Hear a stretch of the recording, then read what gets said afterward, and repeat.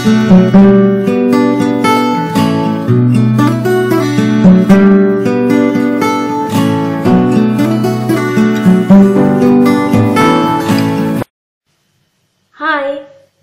കൈപ്പക്കയും ചക്കക്കുരും മെഴുക്ക് പുരട്ടിയാണ് കാണിക്കാൻ പോകുന്നത്.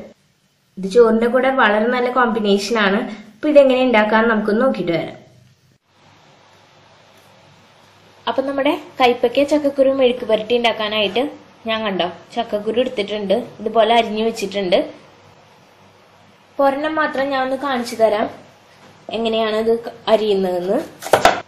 ഈ വൈറ്റ് കളറിലുള്ള ഒരു കവർ ഉണ്ടല്ലോ മുകളിൽ അത് നമ്മൾ റിമൂവ് ചെയ്യാണ്. അപ്പൊ നമ്മൾ ആ വൈറ്റ് കളറിലുള്ള ഒരു കവർ ഉണ്ടായിരുന്നു. അത് റിമൂവ് ചെയ്തു. ഇനി നമുക്ക് ഈ ഒരു ലെയർ ഉണ്ടല്ലോ ഇതും കൂടെ ഒന്ന് റിമൂവ് ചെയ്യാം. അത് ഫുള്ളായിട്ടൊക്കെ കളയണ്ട. ജസ്റ്റ് ഒന്ന് കുറച്ച് മാത്രം കളഞ്ഞാൽ മതി.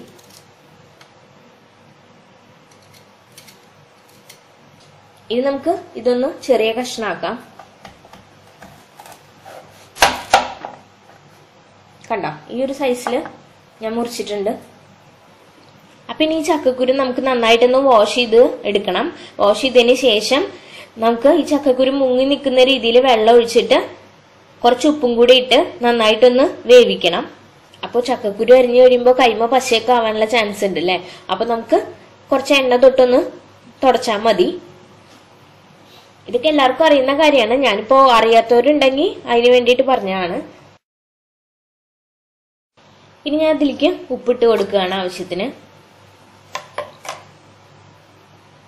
ഞാൻ ഏകദേശം ഒരു അര ടീസ്പൂൺ ഉപ്പിട്ട് കൊടുത്തിട്ടുണ്ട്. ഇനി നമുക്കിത് അടച്ചു വെച്ച് ഒന്ന് വേവിക്കാം. ഇപ്പൊ ഏകദേശം ഒരു രണ്ട് വിസിൽ കഴിഞ്ഞിട്ടുണ്ട്. നമുക്ക് തുറന്നു നോക്കാം.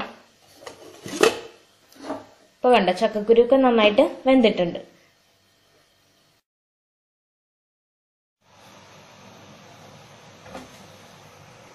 ഇനി ഇതിലേക്ക് ഇടാനായിട്ട് ഞാൻ ഒരു കയ്പൊക്കെ എടുത്തിട്ടുണ്ട്. ഇത് നമുക്ക് എങ്ങനെ അരിയണേന്ന് നോക്കാം.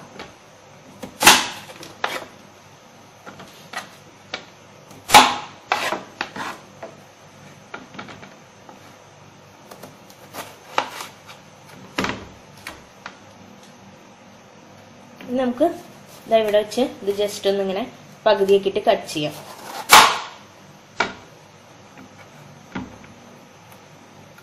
അതുപോലെ തന്നെ.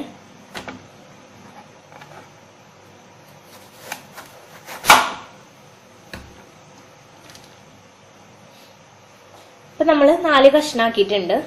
ഇനി നമുക്ക് ഇതിന്റെ ഉള്ളിലുണ്ടാവുന്ന ഈ ഫ്ലഷ് പോലെ ഒരു സ്പോഞ്ച് പോലെ ഒരു സംഭവം ഉണ്ടല്ലേ? അത് നമുക്ക് കളയാം. കത്തി വെച്ച് തന്നെ ജസ്റ്റ് ഒന്നിങ്ങനെ എടുത്താൽ മതി.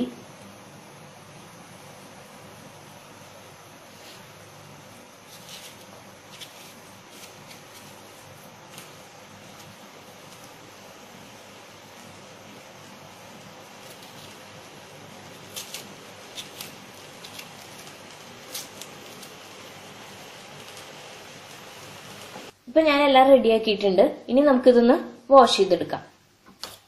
ഞാനിപ്പോ ഇത് നാലെണ്ണം വാഷ് ചെയ്തെടുത്തിട്ടുണ്ട്. ഇനി നമുക്കിത് എങ്ങനെ അരിയാൻ നോക്കാം.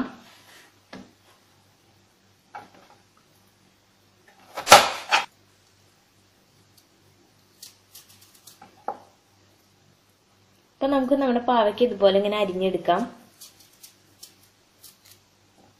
ഇപ്പൊ ഞാൻ എല്ലാം ഇതുപോലെ നീളത്തിൽ അരിഞ്ഞെടുത്തിട്ടുണ്ട്. ഇനി നമുക്ക് ഇതെല്ലാം ചെറുതാക്കി ഒന്ന് അരിയണം.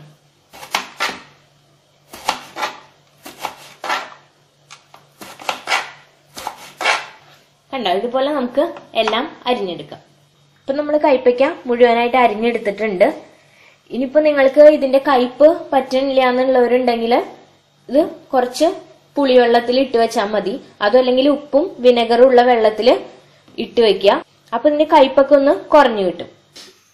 അപ്പൊ ഇതിനു വേണ്ടിയിട്ട് ഞാൻ ഒരു കടായി എടുത്തിട്ടുണ്ട്. അതിൽ വെളിച്ചെണ്ണ ഒഴിച്ചു കൊടുത്തിട്ടുണ്ട്.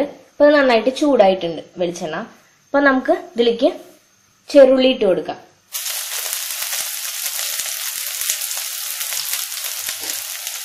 ഞാൻ ഇതിലേക്ക് അരിഞ്ഞു വെച്ച ചെറുള്ളിയാണ് ഇട്ട് കൊടുത്തേക്കുന്നത്. ഏകദേശം ഒരു ഏഴെണ്ണം ഇട്ട് കൊടുത്തിട്ടുണ്ട് അരിഞ്ഞിട്ട് അപ്പൊ നമ്മുടെ ഉള്ളി നന്നായി വഴച്ചെടുത്തിട്ടുണ്ട് ഇനി നമുക്ക് ഇതിലേക്ക് ആഡ് ചെയ്യേണ്ടത് ക്രഷ്ഡ് ചില്ലിയാണ് ഏകദേശം രണ്ട് ടീസ്പൂൺ ഞാൻ ആഡ് ചെയ്തിട്ടുണ്ട്.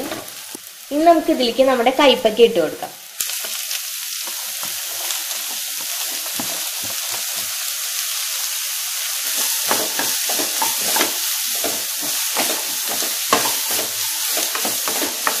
ഇപ്പൊ ഞാൻ നന്നായിട്ടൊന്ന് ഇളക്കി കൊടുത്തിട്ടുണ്ട്.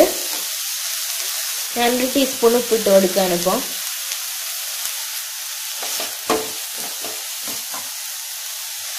ഞാൻ കുറച്ച് മഞ്ഞൾപ്പൊടി ആഡ് ചെയ്യാണ്.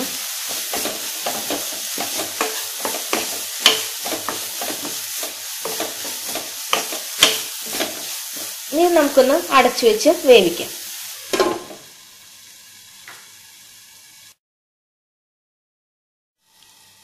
ഇപ്പൊ ഏകദേശം ഒരു പത്ത് മിനിറ്റ് കഴിഞ്ഞിട്ടുണ്ട്. ഇത് നന്നായിട്ട് വെന്തിട്ടുണ്ടാവും.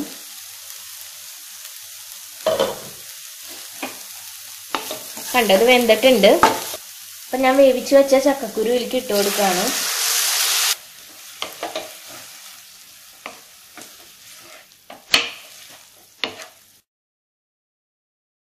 ഇനി നമുക്കിത് അടച്ചു വെച്ച് ഒന്നും കൂടെ ഒന്ന് വേവിക്കാം. ഇപ്പൊ ഏകദേശം ഒരു അഞ്ച് മിനിറ്റ് കഴിഞ്ഞിട്ടുണ്ട്. കണ്ടപ്പോ കറക്റ്റ് ആയിട്ടുണ്ട്. ഇനി ഇതിൽ വെള്ളം ഉണ്ട് അല്ലേ ആ വെള്ളം ഒന്ന് വറ്റണം. അതുവരെ നമുക്ക് തുറന്നു വെച്ചിട്ട് ഒന്ന് ഇളക്കി കൊടുക്കാം. ഇപ്പൊ ഇതിൽ വെള്ളമൊക്കെ നന്നായിട്ട് വറ്റിയിട്ടുണ്ട്. നമ്മുടെ പാവയ്ക്ക് ഉപ്പേരി റെഡി ആയിട്ടുണ്ട്. അപ്പൊ എല്ലാവർക്കും എന്റെ റെസിപ്പി ഇഷ്ടപ്പെട്ടിട്ടുണ്ടെങ്കിൽ ലൈക്ക് ചെയ്യുക. അതുപോലെ തന്നെ എന്റെ ചാനൽ സബ്സ്ക്രൈബ് ചെയ്യുക. താങ്ക്